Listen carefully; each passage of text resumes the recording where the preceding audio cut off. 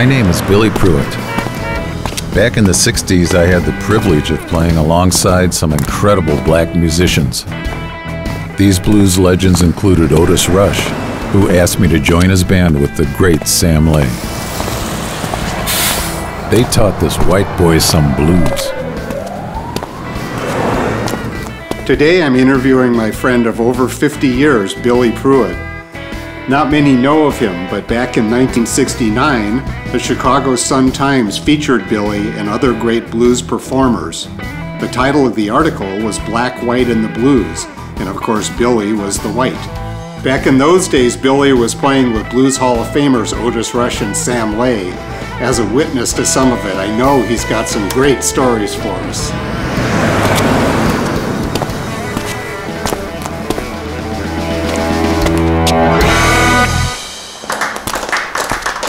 Give Billy. I don't know. I'm in the artist protection program, and my career is the best kept secret in show business. Okay, hey, Rich. Hey, Billy Prewitt. Fancy Hey, meeting you in a blues club. Uh, well, that's where, this is where I live. Now you know where I live. Well, we've both been in a good number of them in our day, and as long as we're here, let's talk some blues, and we might as well play some blues too. Hell yeah. Okay, so we'd go down to Maxwell Street, and it'd sound like this. And.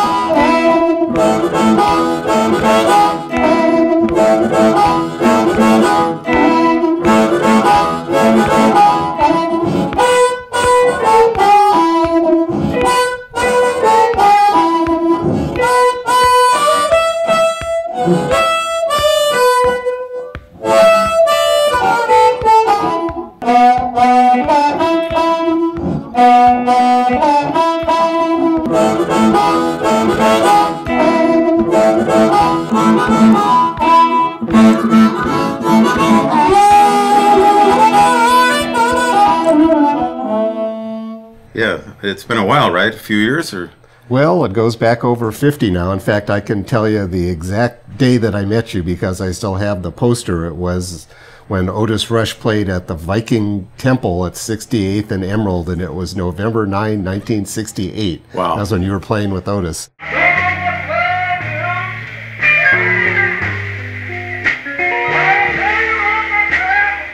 It's all gone from there. that was a social club.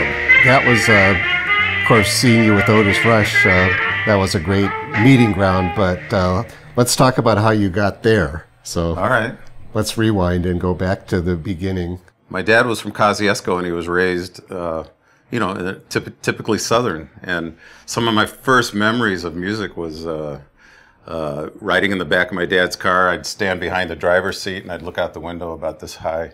And one one day he passed by a, it must have been a blues bar, and I was probably just four or five years old, and there was there was bending strings. It must have been a shuffle. I don't I don't know I don't know what it was, and but I, I knew I liked it. Was there a part of your upbringing that led you to seek comfort or escape in blues? Yeah, later on, they sent me to Pokagon summer camp in Angola, Indiana, and we used to sit around the campfire and sing straight songs, you know, folk songs and all. And some some guy had a harmonica. I said, "Man, that's kind of a cool instrument." And so I, I got a harmonica, and I realized I could put that in my pocket, and it was my friend, and I could just take it wherever I wanted. Do you remember the first blues artist or blues band that you saw live in the circumstances? I remember it was Lonnie Mack, the first blues person that I ever saw live. Uh, if you could say Lonnie Mack was blues, because he had a tremolo and he had it was the first fast guitar I ever heard. I think it was Memphis, and I had just put a band together, and I, my buddy and I, uh, we we were both lead guitar players, and so I wanted to have a I heard about guitar bands. So he knew a drummer. He, he knew a drummer, and we got this drummer. And then he knew another lead guitar player. So my first band was three lead guitars and a drummer.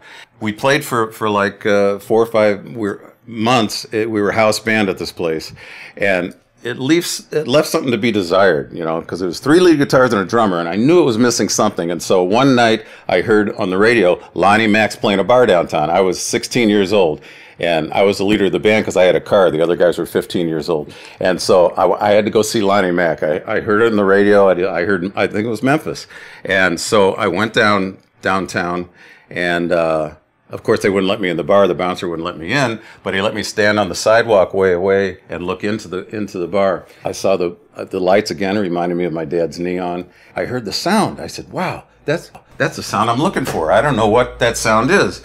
And it was just so full. I couldn't. And then I noticed one of the guys had a had four guitar, four four strings on his on his guitar, and I'd never heard that, you know. And I said, Jesus, that's I. That's I got to get this sound. So they took a break. They came out. I ignored Lonnie and I talked to the bass player. And I said, "What's what's the what's the four strings?" He goes, "Well, it's called a bass guitar." And I said, "Well, how do you get that sound?" He goes, "Well, you just pluck it." And it had so much bottom. So that was uh, where I discovered bass guitar. So I was on my way now.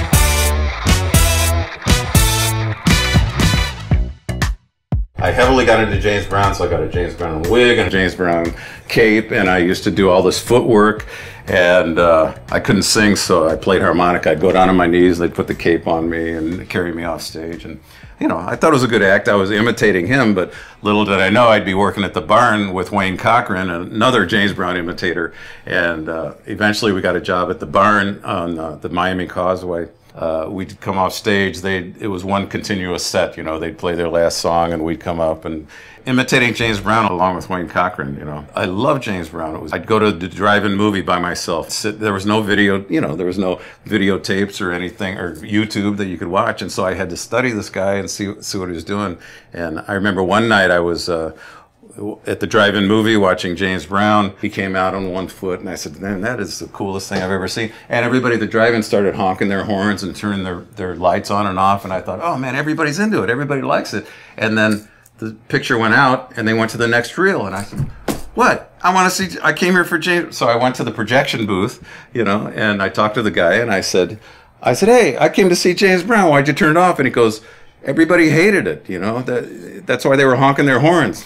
And it made me so sad. And I and so that was one of my first encounters with black and white in the '60s in America, and I started seeing how things work, you know, and that that also brought me to the blues. Let's backtrack a while, and uh, you have mentioned that Jimmy Reed at Carnegie Hall was a real early influence. Can you talk about early blues records you bought or ran into? That... Wherever I lived, in any town, I always knew where the local record store was.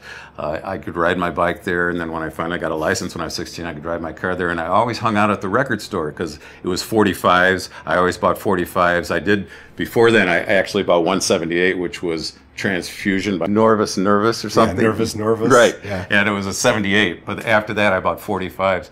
And so I always knew where the local record store was. So when I'd, you know, be feeling down and, uh, you know, longing, longing for the blues and all that, I'd, I'd go down to the record store and I was going through the same bins, you know, and the same, you know, Rolling Stones, Dave Clark Five.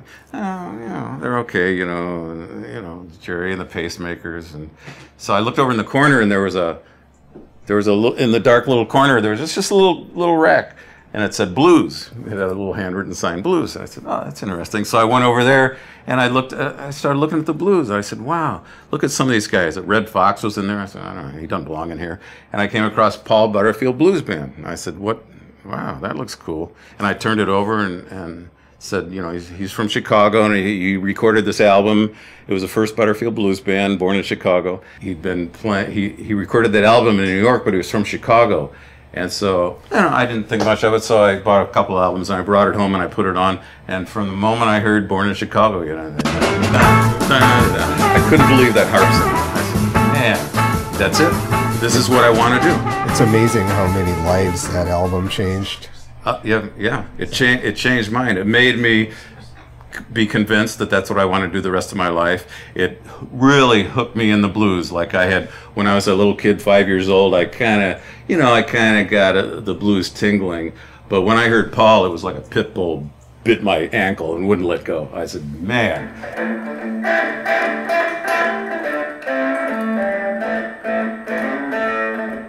I care what mama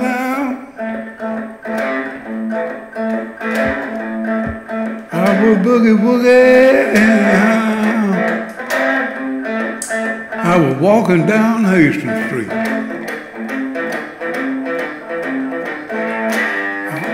I heard everybody talking about the Henry Swank Club. I decided I'd drop in there one night. And I was glad I did. And I got there.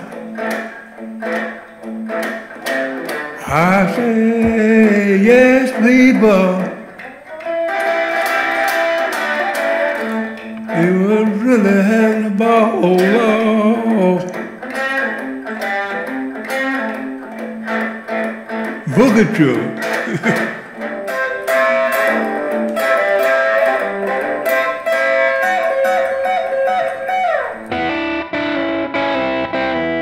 Blues was the place that everybody, that all the blues bands had relocated to. And I met Lorraine Blue there, and uh, she used to let me in. I was a regular, so I'd go there e- every night and just sit around. And that's when I had to find a, a band and get a job and, and learn these blues. And what year would this have been?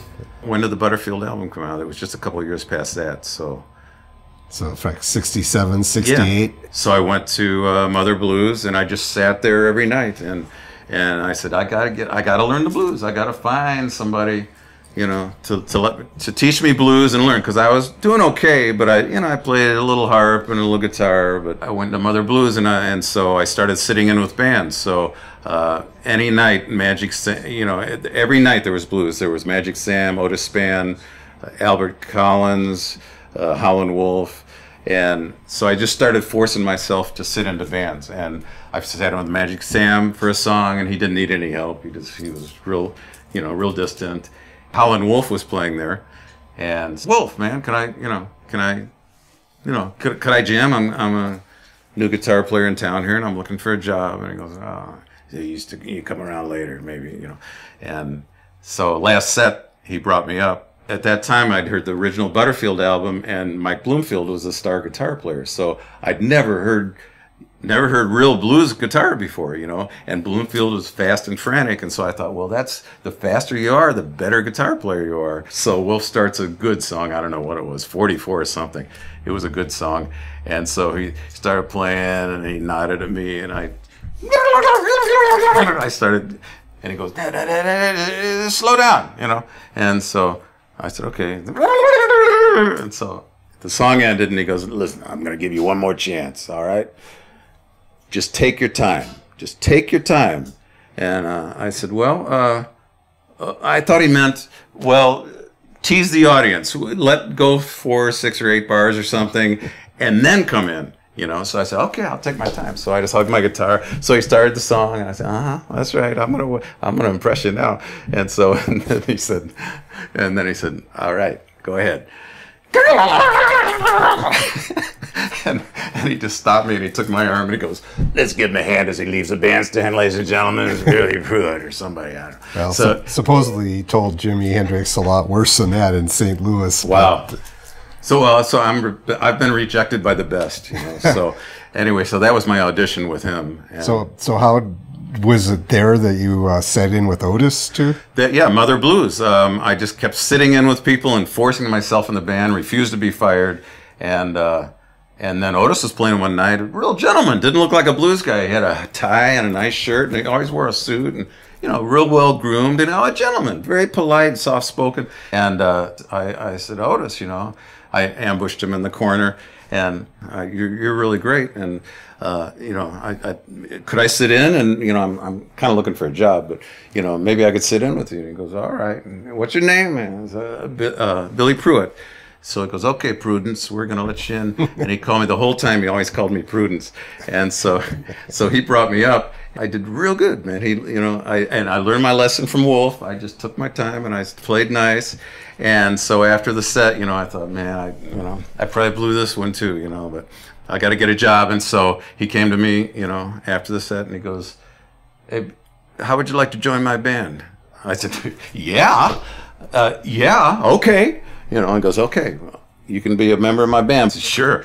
And so that 69, we did uh, Ann Arbor Blues Festival, uh, Sammy Lay, uh, you know, Ernest Gatewood, uh, Eddie Shaw. But you and I had a, a fateful night at the I Spy, Right. which back in the day too was was known as the rock and roll. Apparently, a lot of the Well, that was the I Spy. They had a painting of a guy with a gun, Right, like a, sil- James a Bond silhouette, thing. right? Shooting a drink Right, out of somebody's head. And that was the- yeah, that just was- what you need in a bar, Right, right? yeah, right. And, Uh, that was where uh, we got the thrill of witnessing the owner of the I Spy not only shoot Otis's new used Coupe de Ville that he had bought with his advance Right. for doing Mourning in the Morning. Right. Get they sh- the owner shot him his car in the fender, but you mentioned harmonica player Jeff Carp. Right. He was playing with Sam Lay at the time, and Sam was drumming with Otis that night, and his band was alternating sets. And um, when the, when the owner ran out on the street shooting after a guy who I'll let you describe in, in a minute, um, and shot Otis's car, can you talk about how that that incident unfolded? well, well, you were there, right? You were. yeah, I was one of six guys sitting in a booth, all trying to be the first guy under the table, Right. and none of us could move. right. You got wedged in, and nobody Yeah, could move. You had a better vantage point right. than that. so- And I was on the other side of the stage with Otis, and then uh, all I knew is we started playing, and I heard pop, pop, pop, pop, pop, pop, pop, and I saw Otis dive under the table, on under the table on the other side of the club, and you were stuck.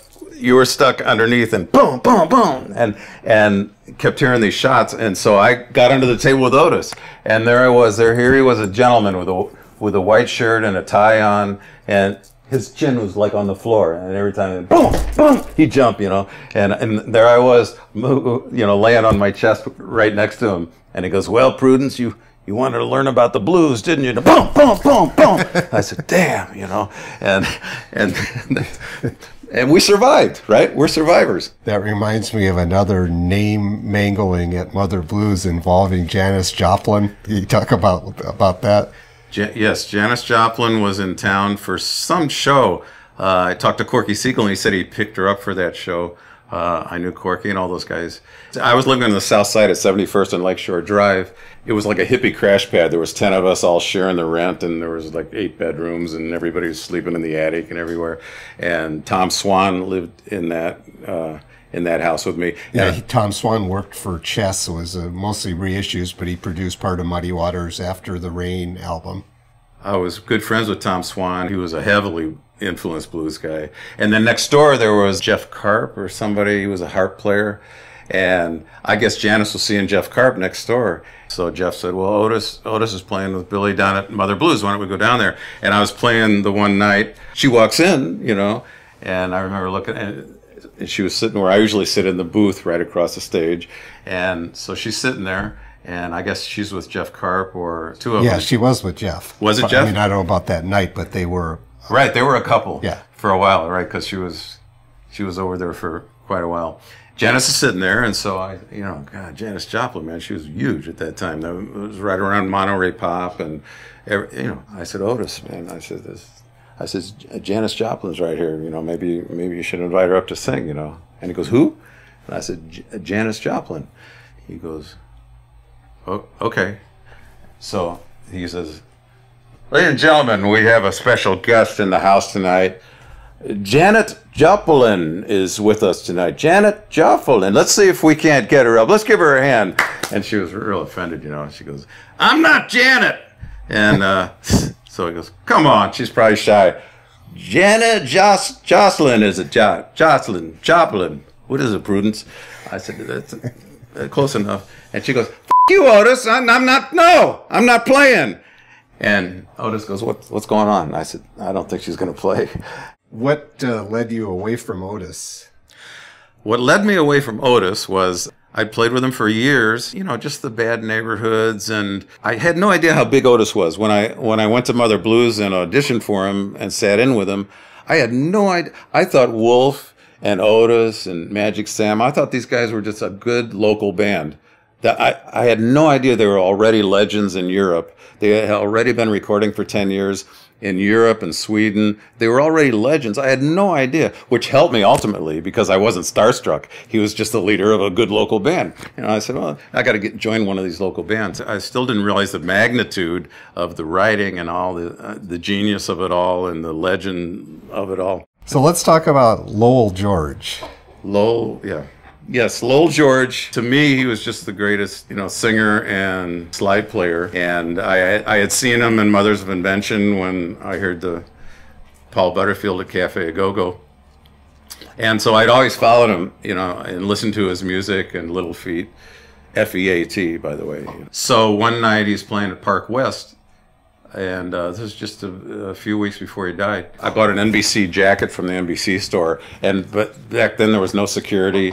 You know, you just walk like you know what you're doing, and then you know they'd see a guy with an NBC jacket, and they go, "Oh, go ahead," you know, and I go, "Excuse me," and so I. I got in there for sound check, and Lowell was there. I said, "Lowell, you know, I'm a guitar player, yeah, da, da, da, and I've got uh, I've got a bunch of songs here. Maybe you'd be kind enough to consider recording, you know, something. And go, oh, okay.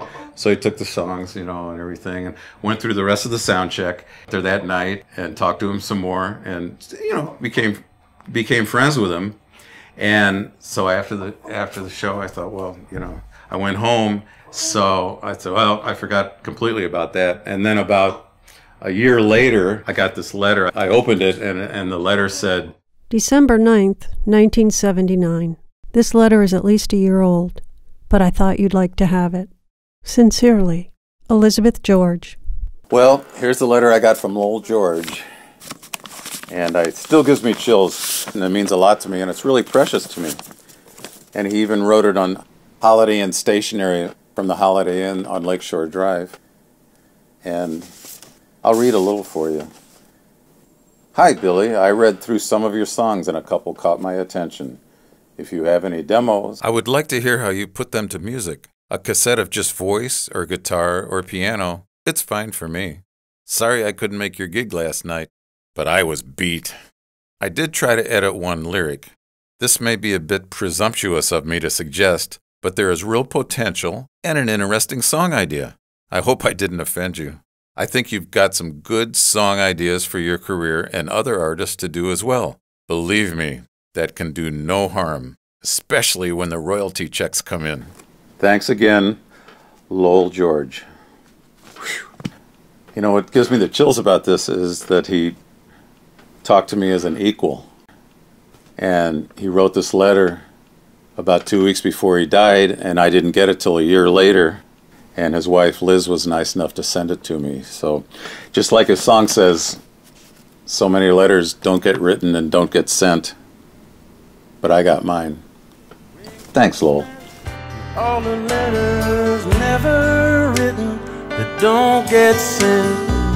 It comes from confusion. Said that uh, among his legacies is your all-time favorite song.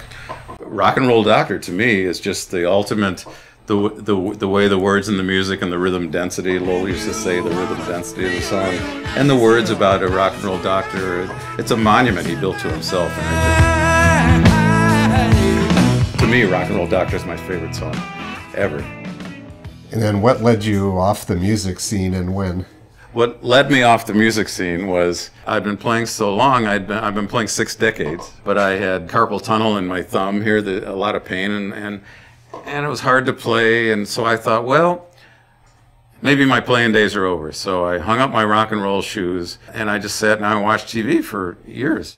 2016, I was putting the Otis Rush tribute together at uh, Grant Park for the Chicago Blues Festival and I, I really had no idea what you were up to or anything like that. But I think Raul Hardman posted something about being on it, and you commented on his post. And you know, when I saw your name, I can't remember exactly how it went from there, but I remember, uh, you know, I thought, well, yeah, hey, if you're still around, I mean, you know, you were one of the first guys that taught me which end was up when I didn't know my posterior from a hole in the ground back uh, back in the bring- days. You were one of the first guys around here who was nice to me. And, you know, saw that I had an interest. You uh, gave me some advice when I made my first live tape of Otis over on Pulaski there.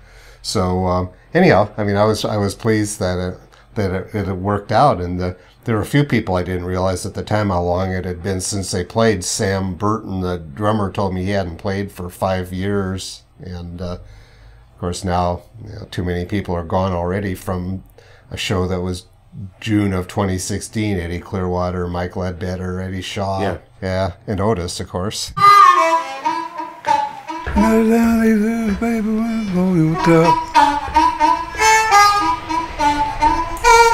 Shake, shake here, shake, shake there, shake, shake, baby. Kneel down easy when you really wanna blow your top.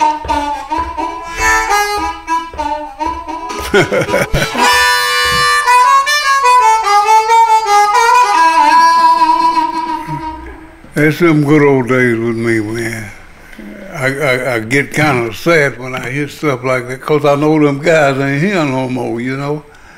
It, it make me a little, a little sluggish.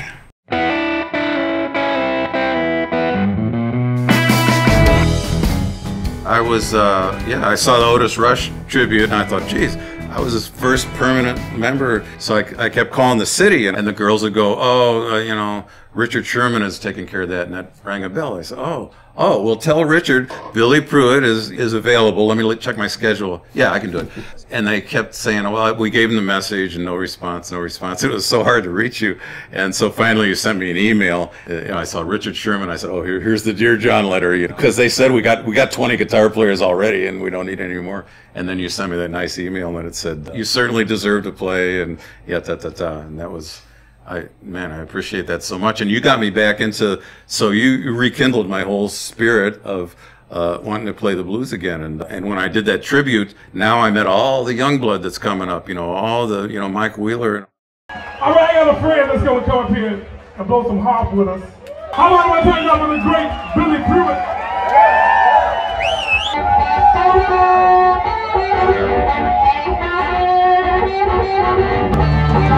these